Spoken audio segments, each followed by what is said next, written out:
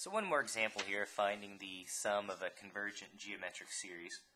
So here we've got the series from n equals 3 to infinity of pi to the n plus 1 over 6 to the n. So in this case, um, you know, again, I see this number raised to the n, but, you know, this has an n plus 1. This is just raised to the n. The first thing I'm going to do is sort of uh, break up that exponent. So I could write this as pi to the n times pi to the first, right? With like bases, we would just add the exponents. So we can certainly stick uh, pi to the n times pi to the first back together as pi to the n plus 1. And then it's still being raised, or excuse me, it's over 6 to the n power. Okay, pi is just a constant. We can factor that out front. And then we'll be left with pi to the n over 6 to the n, but we can simply write that as pi over 6 raised to the n.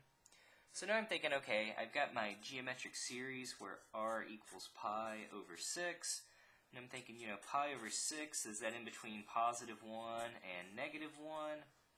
Well, pi is a little bit bigger than 3, you know, so this is roughly, you know, roughly 3 over 6, or a half.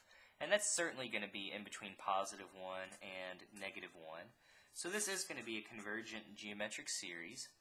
So we'll have pi times, again just the pi from out front. Um, it says the first term, so our first term in this case, we'll have to plug in n equals 3. So we'll get pi over 6 raised to the third power. That would be our first term.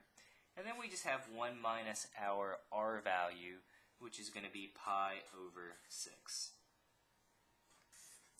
And that's going to be the sum in this case. Um, you could certainly, uh, I guess, clean this up a little bit.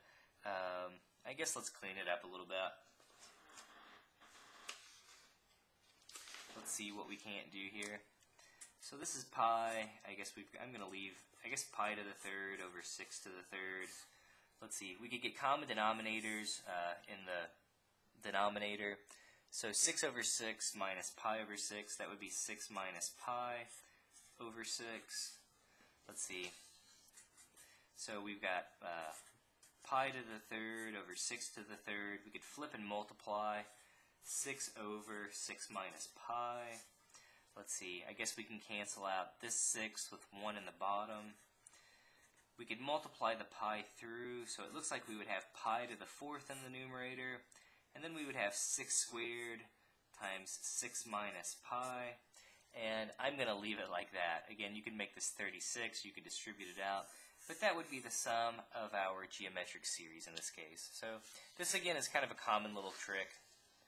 Um, you know, just taking a single exponent, taking a single exponent and breaking it down. This is something you do a lot of times with these series, or at least it's a step I do to make things a little bit clear. Um, and people kind of forget about it. You know, we're used to having like bases and adding the exponents, but we kind of forget about, you know, if we're adding exponents that we can also break it down. So kind of keep this trick in mind. Uh, we'll use it, you know, just as a little algebra tool just to help us uh, kind of clean things up.